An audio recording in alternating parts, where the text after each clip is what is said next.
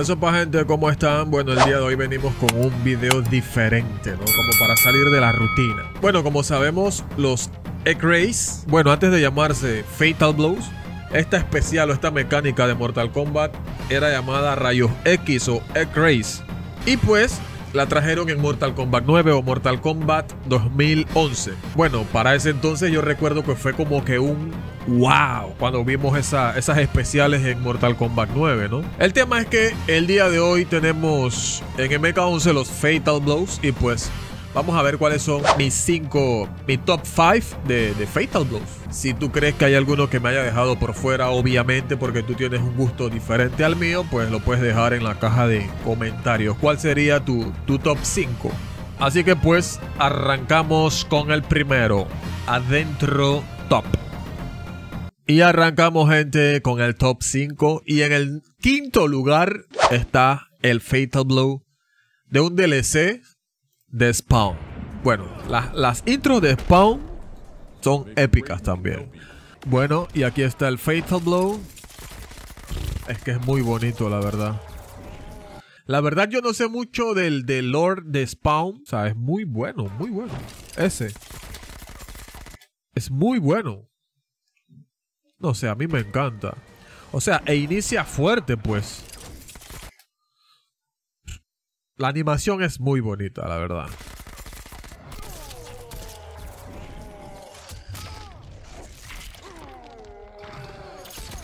Es muy bueno, es muy bueno.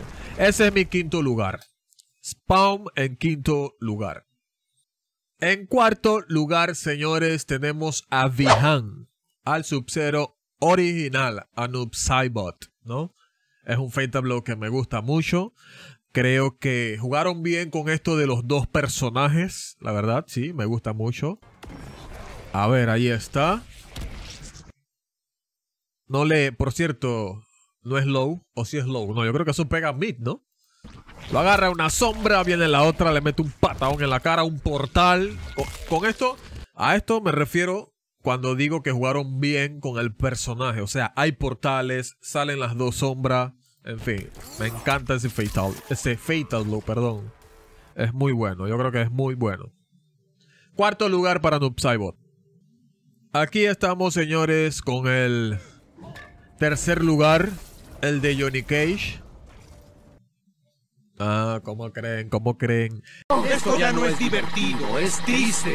El tercer lugar es el del Guasón. El del Guasón. Creo que también hicieron un buen trabajo con el del Guasón. Así que pues vamos a ver qué tal. Hay, un detalle que me encanta en el de Guasón, por cierto. El de la risa.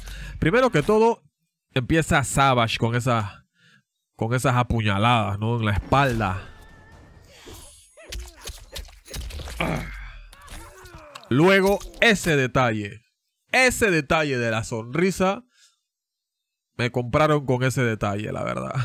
y si notan, la sangre, de hecho al final se le dibuja como la una sonrisa, ¿no? La famosa sonrisa de Ahí está.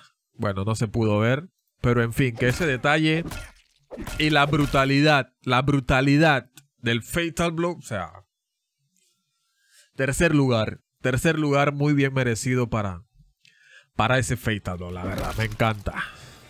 Segundo lugar, señores, para el emperador Chao Kahn. ¿Quién más que aquí va a enfrentar a el brujo? Pero adivina qué?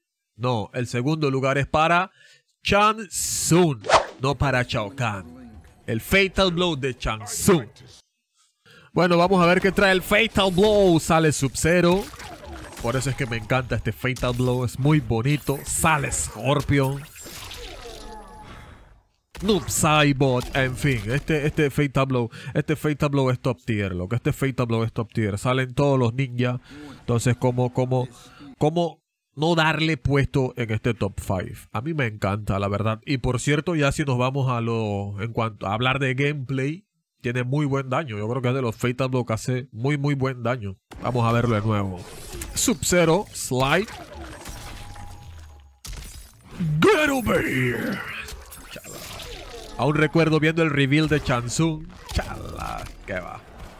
Bueno, ahí tenemos, señores, segundo lugar, medalla de plata para el señor Chang Tsung. A ver, aquí hacemos una pequeña pausa. Te voy a dar unos segundos para que pienses quién tiene el número uno. ¿Quién ustedes creen que es el número uno?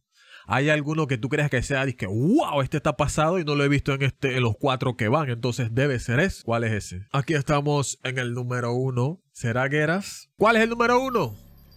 Sí, señores. El número uno es el de Collector. O sea, el Fatal Blow de Collector, para mí, es una belleza. Play. Uh. Esas apuñaladas. A ver, se parece al, de, al del Joker, ¿no? El en la espalda. Pero es que este con todos los brazos es brutal. Brutalísimo. Es como el de Joker mejorado. Y este detalle, señores, el detalle que viene a continuación es el porqué del primer lugar para mí. Ese detalle que están viendo en pantalla. Para mí, esa sonrisita mientras le corta el cuello y le mete el cuchillo en la cabeza. es que eh, cuando uno lo dice es como medio brutal, ¿no? Pero bueno, es Mortal Kombat, señor. El tipo le corta el cuello, le cruza el cuchillo en la sien y se ríe. Y se ríe. Miren al desgraciado sádico que es el Collector. En fin, ese detalle de la sonrisa a mí me mató. Me mató, la verdad. Y por eso, pues, tras que el Fatal Blow es bueno por los cuchillazos, los brazos ahí. Luego este detalle de la sonrisa, la verdad es que ahí la botó el que se encargó del diseño de este Fatal Blow. A ver, vamos a retroceder para ver las puñaladas de nuevo. Ah. Uh.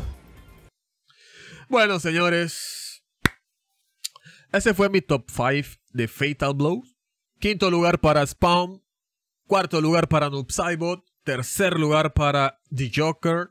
Segundo lugar para Chansung. Y primer lugar para Collector. Debo decir que ahí cuarto, quinto, pues hubo otros Fatal Blows que bien pudieron estar.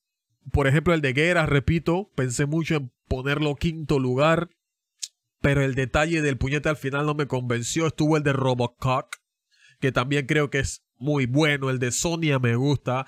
El de Rain es bueno, entonces pues, pero bueno, al final viendo detalles aquí y allá, me quedé con los ya mencionados.